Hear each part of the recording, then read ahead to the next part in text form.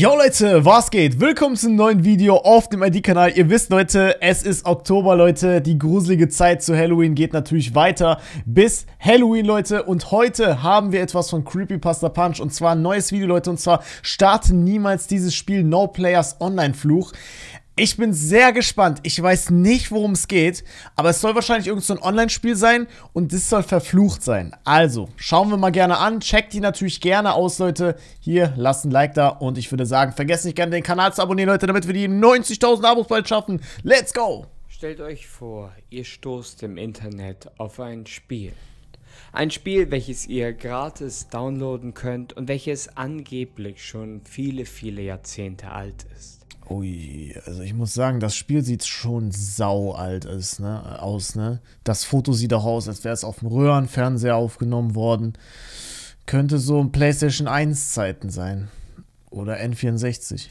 Denn hierbei handelt es sich um ein Spiel, welches eigentlich damals für die originale PlayStation rausgebracht wurde. Ich wollte es gerade sagen. Ich wollte es gerade sagen. PlayStation-Grafik. PlayStation 1. In diesem Spiel geht es um ein ganz normales Prinzip. Ein Prinzip, welches es häufig in Spielen von damals gab. Und zwar einfach nur Capture the Flag, Team gegen Team. Okay. Es war ein sehr frühes Online-Game. Und ihr kriegt jetzt eben eine Kopie und könnt es ohne Probleme auf eurem PC spielen. Okay, ja, das wäre krass. Also, ich weiß gar nicht, PlayStation 1 hat ja gar keinen Online-Support. PlayStation 2 hatte anfangs auch keinen Online-Support. Es kam irgendwann ein Modell raus, das LAN supportet hat, das man mit LAN anschließen konnte und vielleicht auch mit WLAN. Wofür gab keine Spiele, die das richtig notwendig hatten. Aber auf PC ist immer alles möglich. Wahrscheinlich würden sich viele Leute dies trauen, doch dieses Spiel, von dem ich jetzt gerade rede, soll angeblich verflucht sein, beziehungsweise im Inneren des Downloads, im Inneren der Datei, die man herunterlädt, soll eben ein Geist existieren oh in diesem mein uralten Gott, Spiel. Alter, das sieht richtig creepy aus. Das sieht, ey, Alter, das Gesicht, ne? Holy moly, wenn ich das auf dem Bildschirm sehe, selbst in schlechter Grafik, da krieg, ich krieg schon wieder Gänsehaut. Da krieg ich schon wieder Gänsehaut. Yeah. Das Spiel, wovon ich jetzt gerade rede, ist No Players Online.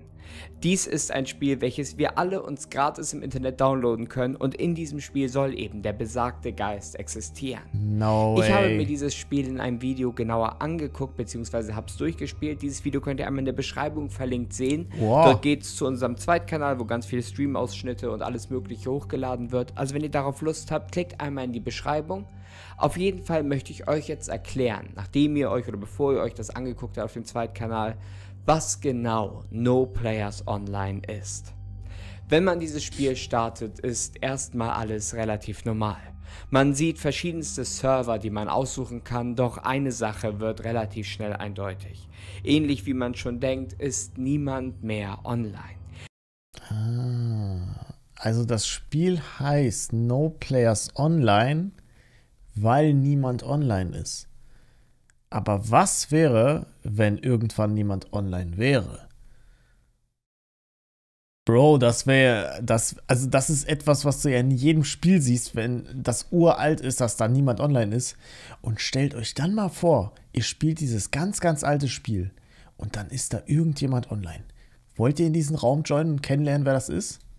Dieses Spiel soll ja auch immerhin viele, viele Jahre alt sein. 20 Jahre, da wird keiner mehr dieses Spiel irgendwie aktiv spielen.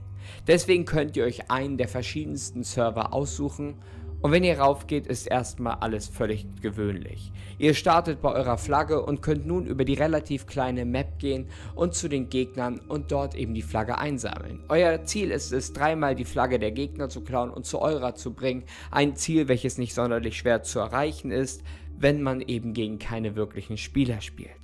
Doch bereits nachdem ihr die erste Flagge mitgenommen habt, passieren seltsame Dinge. Denn aus dem Augenwinkel, nur ganz kurz, könnt ihr auf einmal eine seltsame schwarze Gestalt sehen. Eine Gestalt, die in der Ferne zu schweben scheint und plötzlich wieder verschwindet. Oh, wow. Sie ist so kurz da, dass ihr nicht wirklich erkennen könnt, ob wirklich etwas dort gewesen ist. Ihr macht weiter und bringt die Flagge weg. Ihr hört auch eine gruselige Musik, die von einem Schallplattenspieler abgespielt wird. Ihr geht dann wieder zurück und wollt erneut eine Flagge holen, doch wieder passieren seltsame Dinge. Auf einmal könnt ihr nicht mehr laufen oder ihr seht erneut eine seltsame, schemenhafte Gestalt, die irgendwo in der Ferne euch zu beobachten scheint. Ey, ich, oh, ich hasse sowas. Ich hasse solche Spiele. Es ist ein Horrorspiel, das damit spielt, als wäre das ein Multiplayer-Game, aber es ist ein Horror-Game. Als ihr dann aber die zweite Flagge aufsammelt, passiert etwas Seltsames. Ihr werdet automatisch umgedreht und seht, wie eine schwarze Gestalt auf euch zufliegt. Eine Gestalt ohne Konturen, nur mit einem seltsam gräulichen Gesicht, fliegt oh. euch entgegen, während eine gruselige Musik läuft und verschwindet dann. Ihr könnt dann weitermachen und eben diese zweite Flagge zurück zu eurem Ziel bringen, zurück dahin, wo ihr eben hin müsst. Und dann das gleiche wie immer wiederholen. Doch eben diese schwarze Gestalt, die ihr zuvor gesehen habt, taucht nun schon wieder und viel, viel häufiger auf. Wenn ihr nun aber die dritte Flagge holt, die spielbeendende Flagge und zurückbringen wollt zu eurer, werdet ihr auf einmal aufgehalten und erneut kommt dieses seltsame Wesen auf euch zugeflogen, so als ob es euch töten will. Doch dann kommt eine Nachricht. Denn plötzlich schreibt jemand in den Chat, nachdem ihr erst gesehen habt, dass ein seltsamer Spieler hinzugekommen ist. Diese Person, die euch schreibt, heißt John-Dev und es handelt sich hierbei um den Developer des Games, den Hersteller des Spiels, der jetzt gerade mit euch versucht zu reden. Er fängt an, euch zu schreiben und schreibt dann eben Sätze wie, dass wir vorsichtig sein sollen, dass man das Spiel nicht beenden darf, da etwas Grausames gerade passiert. Denn er Boah, Alter. Uh, ganz, ganz kritisch, Alter. Oh mein Gott. Ey, das ist so krass. Erklärt, dass in diesem Spiel, in dieser Datei, die wir alle spielen können, ein Geist existiert. Ein Geist, der in diesem Spiel gefangen ist, und zwar der Geist seiner verstorbenen Frau. Seine Frau ist scheinbar verstorben, aber er konnte sie nicht loslassen und hat ein Spiel entwickelt, beziehungsweise ein Spiel übernommen, wo er die Seele der Frau, den Geist drinne aufbewahren konnte, so lange, bis er es irgendwie schafft, seine Frau zurück ins Leben zu rufen. Und diese Frau existiert eben auf den Servern. Das Problem ist aber, wenn man die dritte Flagge zurückbringt zu dem Start, zum Ziel, dann werden alle Server gelöscht und das Spiel fährt herunter. Und das möchte er eben verhindern. Er möchte verhindern, dass es irgendwie passiert, dass man seine Frau löscht. Er will sie ja immerhin wiederbeleben. Man weiß nun also, dass diese schwarze Gestalt, die auf einen Zug kam, die Frau des Entwicklers gewesen ist. Doch entweder verlässt man jetzt, so wie der Entwickler es wollte, den Server, oder man beendet das Spiel. Es können nun folgende Dinge passieren. Nimmt man die Flagge mit und läuft zum Ziel, wird der Dev unten noch in den Chat schreiben, dass man bitte aufhören soll, dass man weggehen soll. Er fleht und bettelt einen an, dass man nicht das Spiel beendet und nicht seine Frau umbringt. Das ist krank, das ist einfach, das ist absolut heftig, ne? Also ich würde schon aus Neugier gern sehen, was passiert, ne? Aber stell dir vor, was, da wäre was Wahres dran an dem Spiel. Das ist schon äh, sau heftig. Hauptsache, man kann einfach nichts lesen, weil das ist so überbelichtet. Please press escape and shut. Ja, weiter kann ich nicht lesen. Irgendwas runterfahren. Doch es gibt die andere Möglichkeit. Man kann, so wie es der Entwickler sich gewünscht hat, das Spiel einmal verlassen und dann eigentlich ruhen lassen. Doch man kann auch wieder ins Spiel reingehen. Man kann den Server verlassen und sich einen anderen Server aussuchen und dann dort das gleiche Spiel nochmal spielen. Erneut passiert alles so wie beim ersten Durchlauf, nur dass diesmal der Developer euch wieder schreibt. Der Entwickler schreibt euch wieder an und fragt euch, warum ihr wieder zurückgekommen seid, dass ihr doch gehen solltet und joint dann dem Spiel. Oh. In dem Spiel, wo ihr eigentlich. Oh! Oh! Ho, ho, ho, ho einfach, er sagt jetzt, Bruder, was machst du hier? Das ist mein, das ist mein Gebiet. Das ist hier mein Reich. Jetzt komme ich, jetzt mache ich dich fertig. Und einfach in Caps Lock steht da, John Death has joined the game. Let's go, der Smash-Kampf geht los. allein gewesen seid, ist nun also auch der Developer, der Hersteller dort. Ihr müsst ihn nur finden. Und man kann ihn tatsächlich finden, denn er schwebt über einem Punkt auf der Map. Man sieht an einem Punkt sein Auge in der Luft, ein menschliches Auge, welches einen beobachtet. Dies ist der Developer, der Entwickler des Spiels, der euch jetzt beobachtet und sehen will, was ihr tut und euch immer noch anfleht, das Spiel nicht zu beenden.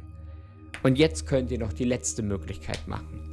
Ihr könnt einmal eben drauf schießen. Ihr könnt auf das Auge schießen und oh dann oh. wird euer Bildschirm schwarz werden und ein kryptisches Video wird ablaufen. Ein winziges Video, wo scheinbar jemand irgendeine Geheimbotschaft aufschreibt, die noch nicht entschlüsselt werden konnte. Niemand weiß, was diese Geheimbotschaft bedeutet, doch nachdem ihr sie gesehen habt, sind alle Server verschwunden. Das bedeutet, dieses Spiel, welches erstmal aussieht wie ein ganz normaler First-Person-Shooter für die PlayStation 1, ist in Wahrheit also ein Spiel, in dem ein Dämon, in dem ein Geist von einer verstorbenen Person lebt, die der Ehemann einfach nicht loslassen kann. Die Frage ist natürlich folgendes. Ist dieses Spiel real? Ist diese Geschichte real? Denn wenn man es so durchspielt, könnte man tatsächlich denken, dass man hier aus Versehen eben auf ein gruseliges Experiment gestoßen ist. In Wahrheit ist dies alles nur ein Indie-Spiel. Eine kleine Entwicklungsfirma hat eben dieses Spiel erschaffen mhm. und online zu Wollte ich gerade sagen, also ich kann mir nicht vorstellen, dass so ein, sag ich mal, deepes äh, Horror-Game dass das, äh, also es hat einen Eindruck, als wäre das so wirklich 20, 30 Jahre alt, das Spiel, aber es ist, glaube ich, relativ modernes Spiel, das den Artstyle einfach hat. Verfügung gestellt. Man kann es sich runterladen und so viel Geld dafür ausgeben, wie man selber für richtig hält und es dann einfach durchspielen. Sprich, dieses Spiel handelt nicht von einer echten Geschichte. Es gibt nicht diese Frau, die in dem Spiel festgehalten wird. Es ist nur ein kleines Spiel, um einem Angst zu machen und eine spannende Geschichte zu erzählen.